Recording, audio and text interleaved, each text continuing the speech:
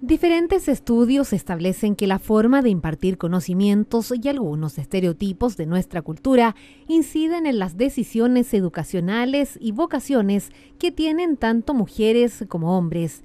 Hemos sido criados en una sociedad que le asigna a ellas un rol de cuidadoras y a ellos el papel de proveedores influyendo en el conocimiento de las áreas blandas a las mujeres y a los hombres en las áreas más duras. Intervenir en, los procesos educativos para promover la igualdad de género, para promover decisiones vocacionales en que las mujeres y los hombres puedan plantearse que pueden hacer lo que quieran sin limitaciones eh, relacionadas con estereotipos, es muy relevante en un país como este, donde tenemos que aumentar la productividad, donde tenemos que incorporar masivamente a las mujeres al mercado de trabajo y, efectivamente tenemos que empezar desde temprano y empezar en todas las instancias. Estos resultados han instado a la comunidad Yo Mujer a generar un programa denominado Género, Educación y Trabajo, el que tiene una línea que busca intervenir algunos establecimientos educacionales a fin de que los más pequeños entiendan que todos, niños y niñas, son iguales y pueden elegir lo que quieran sin estigmatizar colores o juguetes, deportes o actividades, eligiendo a futuro la carrera que deseen, borrando el concepto que una ocupación es para mujeres y otra solo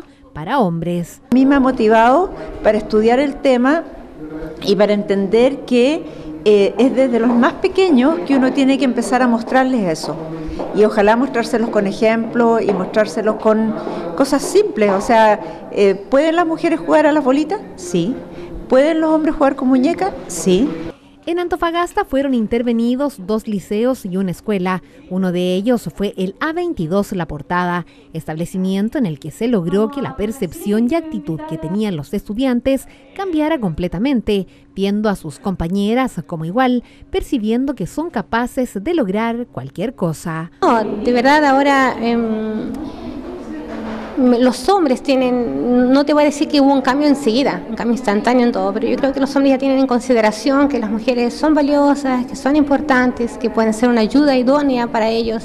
El CERNAM valoró esta iniciativa impulsada por la comunidad Yo Mujer, donde se logró dejar en manifiesto que la incorporación de ayudas pedagógicas cambia el enfoque de género en el aula. Eh, sin lugar a dudas parte en el aula, parte eh, incorporando esto eh, en la, en la conciencia y en el accionar diario de niños, niñas y también de sus apoderados, apoderadas y por sobre todo los profesores y las profesoras.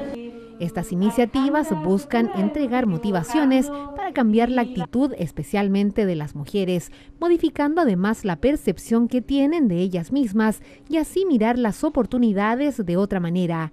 La igualdad de género es un trabajo arduo que busca posicionar a la mujer de igual a igual frente a un hombre y terminar con las brechas existentes, visualizándose como líderes, tomando decisiones, opinando, marcando presencia en áreas que por años han sido masculinizadas, como es el caso de la minería en la región, rubro en el que solo un 7% del personal de operaciones son mujeres.